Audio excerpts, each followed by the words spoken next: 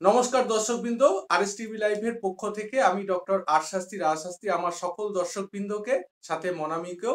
আজকের পঁচিশে ডিসেম্বর বা বড়দিন বা যীশু খ্রিস্টের জন্মদিন।